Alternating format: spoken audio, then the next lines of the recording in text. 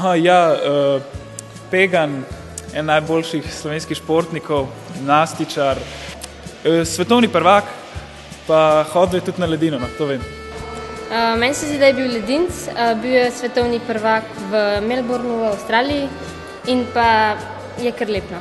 Ne, nažalost, te časti še nisem imela, ampak jo bom kmalo dobila, mislim, da bom kmalo spoznala in se tega res veselim, ker je on pač eden največjih slovenskih športnikov in si jaz kot športnica to kot ful želim. Aljaža poznam že od njegovih rosnih let. Delal sem kot trener na društvu Partizan Vič in sem ga, ko sem ga spoznal, smo ga tudi potegnili v delo gimnastiko kot šestletnega dečka. Kmalo je postal eden najboljših v Sloveniji, posebej pa se je specializiral na drogo. Postal je prijeten sogovornik, eh, rad viden v družbi. Ne. Njegova eh, telovadba je res nekaj izjemnega. Od 94. leta dalje, ko je bil prvič evropski prvak, bil je svetovni prvak, bil je večkrat drugi na svetu, večkrat evropski prvak in eh, zmagovalec svetovnega pokala.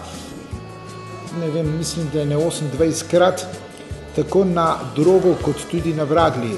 Ravno tako mislim, da nam je polepšal dan, ko je obiskal to šolo, ki je tudi uspešno končal.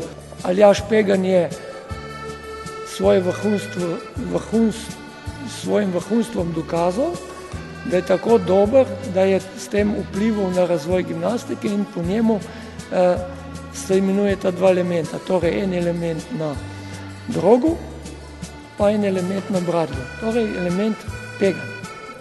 Naredi dvojno salto naprej, skračeno dvojno salto in eh, po dvojni salti pride ponovno v nadprijem na drugo.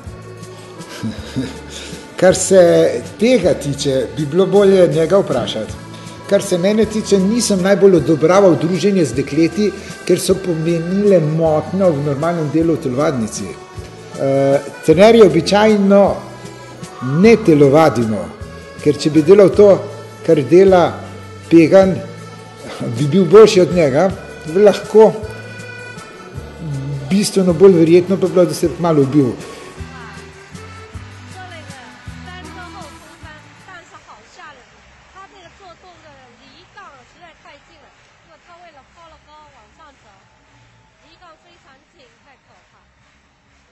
这名运动员刚才衣上器械完成的第一个飞行就是以他自己的名字命名的这个盖洛德转体一百八也叫佩根一组的动作。